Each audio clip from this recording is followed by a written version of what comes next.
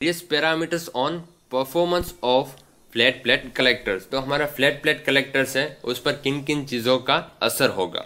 सबसे पहले हम उसका कंस्ट्रक्शन देख लेते हैं तो ये एक फ्लैट प्लेट कलेक्टर है। सबसे पहले तो यहाँ पर एक ट्रांसपेरेंट ग्लास कवर होगा। वो एक से ज़्यादा हो सकते हैं, एक या दो। और उनसे ज़्यादा भी हो सकते हैं, लेकिन आगे उसके देखते हैं कि या एक या दो रखने का एक रीज़न होता है।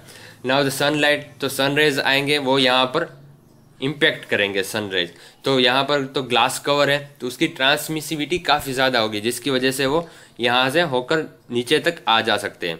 तो ये भी दूसरा भी एक ग्लास कवर ही है।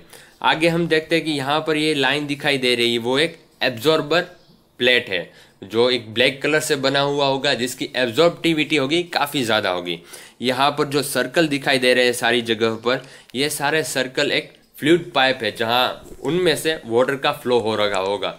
जो सोलर रेज की जो हीट है, उसे कंज्यूम कर कर उसका हम पानी को गर्म करने की एप्लीकेशन में यूज़ कर सकते हैं। तो बेसिकली जो एब्जॉर्बर प्लेट है, वहाँ जो उसने हीट को कंज्यूम किया होगा, वो अपनी कंडक्शन के थ्रू उस फ्लूड को या वाटर को वो हीट पास कर देगा, उसको कंडक्शन कर देगा हीट ट्रांसफ़र कर देगा।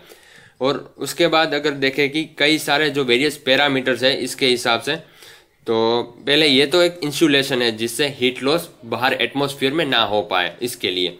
ये सारा इंसुलेशन है वॉल इंसुलेशन एंड यहाँ पर इंसुलेशन है सारा इंसुलेटर नाउ पहला हम देखते हैं कि सिलेक्टिव सरफेस तो ये जो जो ये नीचे ये ब्लैक प्लेट के बारे में हम बात करते हैं, यहाँ उसकी बात अभी है सिलेक्टिव सरफेस यानी कि एब्जॉर्बर प्लेट के लिए। तो हाई वैल्यू ऑफ़ एब्जॉर्बिविटी जितने भी सनराइज वहाँ तक पहुँच पाएँगे, उस, उसकी सारी हीट को कंज्यूम करना है, इसे स्टोर करना है। तो इसके लिए जो वो ब्लैक प्लेट होगी, उसकी एब्जॉर्बिविटी काफ़ी ज़्यादा होनी चाहिए।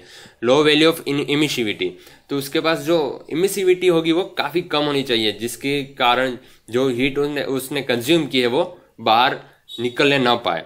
नाउ तो maximise the net energy collection जिसकी वजह से अगर एब्जॉर्बिविटी काफ़ी ज़्यादा होगी इमिसिविटी काफ़ी कम होगी तो वो एनर्जी को स्टोर कर पाएगा, उसे रख पाएगा।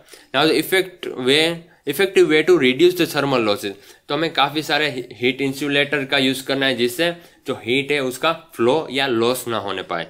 Now the copper oxide nickel blade and bichrome का जनरली यूज़ होता है इस एब्जॉर्बर प्लेट के लिए। तो आगे दूसरा एक देखते हैं कि नंबर ऑफ़ कवर्स जो अभी हमने सबसे पहले बात की थी कि यहाँ पर जो ये नंबर ऑफ़ कवर है ग्लास कवर ट्रांसमिसिविटी के लिए, जहाँ से सारे जो सन रेज है, वो वहाँ से पास हो सके। तो हाई तो उसमें क्या होना चाहिए transmissivity as much as the solar energy transmissivity उसकी काफ़ी ज़्यादा होनी चाहिए। And minimise the heat loss from the absorber plate और जो एब्जॉर्बर प्लेट तक सनराइज पहुँच जाए, उसे उस जो सनराइज अंदर आ गए, उसे बाहर ना निकलने पाए, इस तरह से उसका इमिसिविटी काफ़ी कम होनी चाहिए। एंड इंक्रीज द कवर जितने भी हम इंक्रीज करते जाएँगे ग्लास कवर तो उसके साथ ही जो ट्रांसमिसिविटी है, वो कम होती जाएगी। अगर रियलिस्टिक वे में देखें तो उसकी कोई ना कोई तो ट्रांसमिसिविटी के कारण वो सनराइज तो अंदर आ जाएगी, लेकिन एब्जॉर्बिविटी होगी, जो हीट को कंज्यूम कर लेगी। तो जितने भी ग्लास कवर हम ज़्यादा करते जाएँगे, पहला होगा वो कुछ एब्जॉर्ब करेगा हीट फिर दूसरा होगा वो भी कुछ करेगा, उसके कारण जो हमारे हीट लॉस होती जाएगी और जो लास्ट में एब्जॉर्बर प्लेट तक पहुँचे हीट वो काफ़ी कम होती जाएगी। तो दो होगा तो काफ़ी अच्छा रहेगा, या दो से ज़्यादा अगर प्लेट रखने जाएँगे तो जो हीट लॉस है वो काफ़ी कम होती जाएगी। हीट लॉस यहाँ पर क्या होगा? कि ये सारी जो प्लेट हमने ग्लास रखी है वो एब्जॉर्ब करते जाएगी। इसके कारण हीट एब्जॉर्बर प्लेट तक काफ़ी कम पहुंचेगी। And absorber plate absorbance decrease yes तो यहाँ पर हीट कम पहुँचने के कारण उसकी एब्जॉर्बिविटी तो ज़्यादा होगी, लेकिन जो हीट होगी वो काफ़ी कम कंज्यूम होगी। Now the maximum efficiency obtain with one और टू मोर कवर ये एक या दो कवर से ही मैक्सिमम एफिशिएंसी को ला जा सकता है। नाउ द कलेक्टर टिल्ट तो कलेक्टर टिल्ट ये तो मैंने रखा है, ये डिस्क टाइप प्लेट कलेक्टर है तो मैं तो सिर्फ़ कलेक्टर टिल्ट के बारे में यहाँ पर समझाना चाहता हूँ कि सनराइज है, वो अगर ये सारी हमारा इंस्ट्रूमेंट है तो यहाँ पर एक एब्जॉर्बर होगा तो सन रेज की डायरेक्शन में ही एब्जॉर्बर प्लेट होनी चाहिए, जिससे जो सन रेज जो उसमें जो हीट है, उसका ज़्यादा कंजम्पशन हो पाए। Now the normally fixed in one position लेकिन यहाँ पर हमें फ्लैट प्लेट कलेक्टर की बात कर रहे हैं। तो ये जनरली एक पोजिशन में ही फिक्स्ड होगी। तो which do not track the solar system तो वो सन के साथ मूव नहीं कर पाएगी। जिससे एक फिक्स पोजीशन के कारण हमें ऐसा एंगल ही चाहिए होगा कि वो ज़्यादा से ज़्यादा हीट को कंज्यूम कर पाए। उस हीट सोलर रेस की डायरेक्शन में होना चाहिए। Angle at which fix is more important तो जहाँ पर भी एंगल जो फिक्स होगा वो काफ़ी इंपॉर्टेंट रहेगा, क्योंकि सोलर रेस तो यहाँ पर इम्पेक्ट करने चाहिए एब्जॉर्बर प्लेट में, तभी तो एनर्जी कंज्यूम कर पाएगा। Now the winter application five यानी कि latitude latitude plus ten degree और प्लस फिफ्टीन डिग्री तक हम मूव कर सकते हैं, या समर एप्लीकेशन के लिए फाइव माइनस टेन डिग्री और फाइव माइनस फिफ्टीन डिग्री तक हम कलेक्टर टिल्ट कर सकते हैं। तो इम्पोर्टेंट एंगल काफ़ी इंपॉर्टेंट रहेगा इस हीट को कंज्यूम करने के लिए। नाउ फॉर स्पेसिंग तो स्पेसिंग के बारे में बात करते हैं। तो जनरली स्पेसिंग का मीनिंग क्या होता है कि जो हमारा एब्जॉर्बर प्लेट है, उससे जो हमारा फ़र्स्ट कवर है, उन दोनों के बीच में जो गैप है, उसे स्पेसिंग बोला जाता है। और जितना भी ज़्यादा स्पेसिंग रखेंगे तो यहाँ पर जो सनरेज सारे यहाँ पर इम्पेक्ट करेंगे, अंदर जाएँगे, वो काफ़ी अगर स्पेसिंग ज़्यादा होगा तो वो इकट्ठा नहीं रहेंगे, इस तरह से कुछ अलग अलग पड़ जाएँगे। तो हमारा हीट लॉस काफ़ी होगा। और जो उसके जो हीट उसमें जो हीट होगी वो ज़्यादातर हम उसको कंजम कंजप्शन नहीं कर पाएँगे। तो heat loss various with spacing and maximum two covers हमने बात की थी कि टू कवर्स मैक्सिमम अच्छे रहेंगे एफिशिएंसी अच्छी आएगी। Now the spacing in in the range of four to eight centimetre तो ज़्यादा से ज़्यादा स्पेसिंग होगा वो फोर से एट सेंटीमीटर तक होना चाहिए। Now the fluid temperature inlet temperature increases the operating temperature increases तो जितना भी फ्लूड का टेम्परेचर हमें ज़्यादा मिलेगा, उसके साथ ही जो ऑपरेटिंग टेम्परेचर रहेगा, जो वाटर को हमें गर्म करना है हीट देनी है उसे, वो भी ज़्यादा होने लगेगा, जिसके कारण it's leads to the increase in heat losses तो हीट लॉसेस काफ़ी बढ़ता जाएगा एंड डिक्रीजेज इन एफिशिएंसी तो हीट लॉस काफ़ी बढ़ने के कारण जो उसकी एफिशिएंसी इनडायरेक्टली आएगी, वो काफ़ी कम रहेगी. तो यहाँ पर एक एफिशिएंसी वर्सेस टेम्परेचर का एक, यहाँ पर एक ग्राफ एलोकेट किया है. ट्वेंटी, फोर्टी, फिफ्टी, अगर जितना भी टेम्परेचर कम होगा, उसकी एफिशिएंसी ज़्यादा रहेगी। और यहाँ आप देख सकते हैं कि जितना भी टेम्परेचर ज़्यादा होगा, यहाँ पर 80 डिग्री सेल्सियस है तो यहाँ पर 20 परसेंट तक ही एफिशिएंसी आ रही है। Now the cover transmissivity. Cover transmissivity जितनी ज़्यादा होगी, जो हमने ग्लास कवर वन और टू रखा है, उसकी ट्रांसमिसिविटी जितनी ज़्यादा होगी, उसके कारण जो हमें एफिशिएंसी होगी वो काफ़ी ज़्यादा मिलेगी। एब्जॉर्बर प्लेट तक जो हीट पहुंचेगी, जो हीट रेस पहुंचेगी वो काफ़ी ज़्यादा होंगे। तो हमें इनडायरेक्टली एफिशिएंसी बढ़ जाएगी हमारी सिस्टम की। Now the dust on the top of the cover तो हमने ग्लास कवर इसीलिए रखे हैं क्योंकि जो एब्जॉर्बर प्लेट है उस पर कोई डस्ट ना लग सके। बट जो हमारा ऊपर ग्लास का कवर है, उस पर तो डस्ट लगने ही वाली है। So the dust accumulated on the top of the cover the reducing transmitted flux तो ऊपर जो डस्ट लग जाएगी जिसके कारण जो हीट रेज आ रहे हैं हमारे एब्जॉर्बर प्लेट तक वो काफ़ी कम होते जाएँगे due to the dust and the required continuous cleaning continuous cleaning चाहिए लेकिन ऐसा पॉसिबल नहीं कि हर रोज़ हम क्लीन कर सकें। But regularly in the month और वीकली उसको क्लीन करना पड़ता है।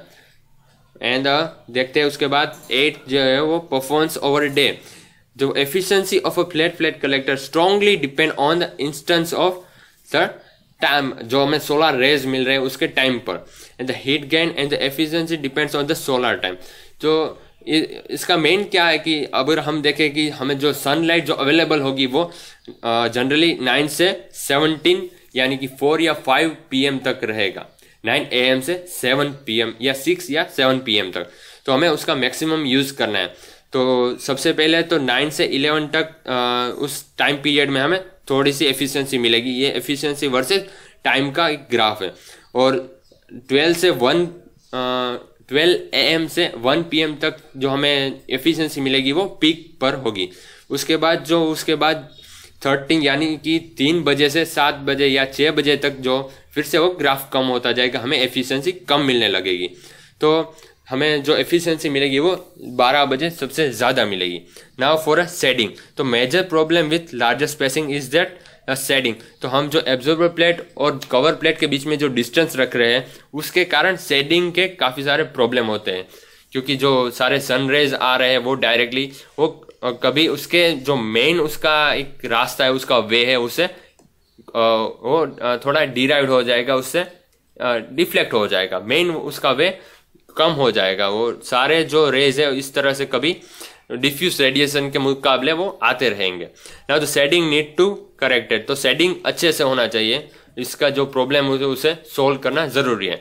ना तो सेट जो स्पेसिंग है, वो जनरली टू से थ्री सेंटीमीटर के बीच में हो तो काफ़ी उसका अच्छा रिज़ल्ट आएगा। एफिशिएंसी हमें ज़्यादा मिलेगी।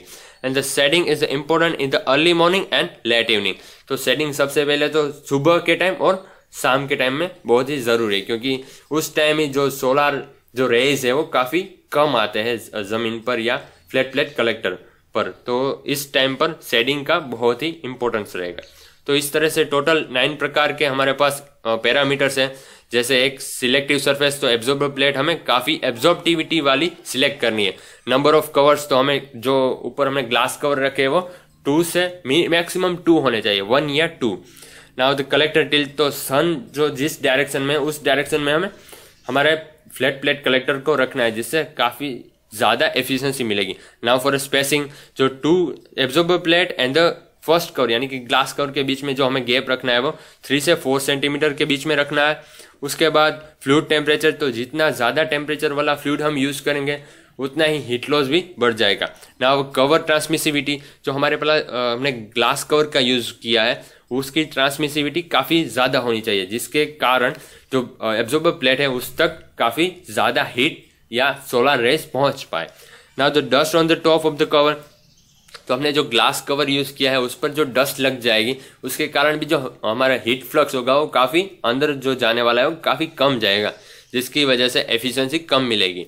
ना तो परफॉर्मेंस ओवर डे तो 12 बजे सबसे ज़्यादा हमें सोलर रेस मिलेंगे, नौ नाइन ए एम या सिक्स पी एम में हमें काफ़ी कम मिलेंगे। सोलार रेस नाउ सेडिंग तो सेडिंग का प्रॉब्लम कब रहेगा? जब सेड हमने स्पेसिंग रखा है एब्जॉर्बर प्लेट और हमारा कवर प्लेट के बीच में, वो काफ़ी ज़्यादा होगा तब सेडिंग का प्रॉब्लम रहेगा। वहाँ पर जो सोलर रेज है, वो अपने मेन वे से डिफ्लेक्ट करने लगेगा, जिसके कारण एफिशिएंसी कम आने लगेगी। तो ये सारे पैरामीटर्स है।